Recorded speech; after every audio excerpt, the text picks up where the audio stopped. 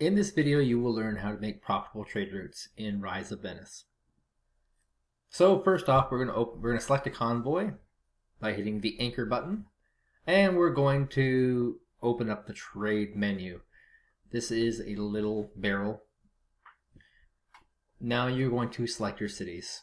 Try and select cities that have different main producing items. The less common producing items they have, the better this trade route will do economically.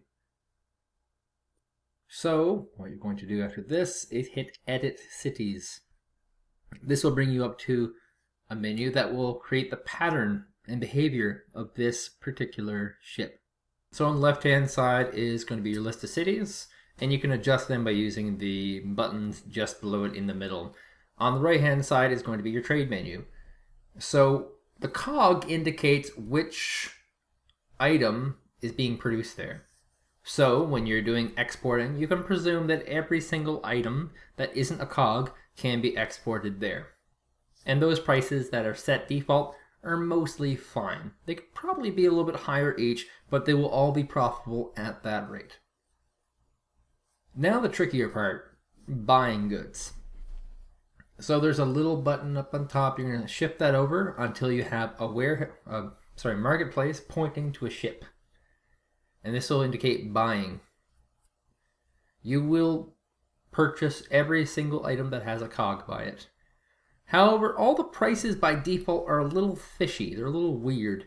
They're actually designed assuming you have full production at every single facility in the entire world, and assuming that you'll have three green bars of buying power instead of the regular two that they most often have. So they all have to be adjusted they have to be adjusted by roughly 20% increase.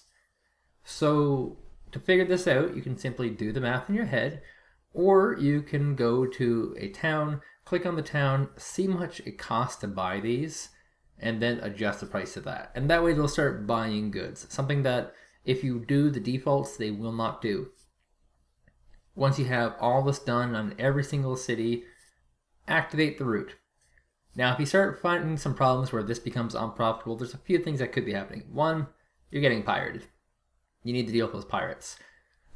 Two, you might have too many ships in that convoy. If you don't have a full load nearly all the time, that's not going to be a very profitable route.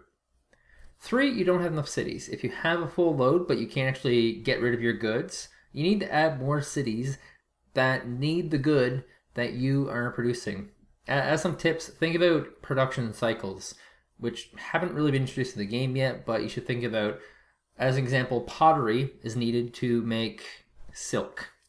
Pottery is made by wood and metal, as is tools. If you want to make meat, you need salt, and so on and so forth. If you if you trade towards what people need for their big, big projects, you'll have highly, highly profitable routes. Hope this is helpful. Good luck.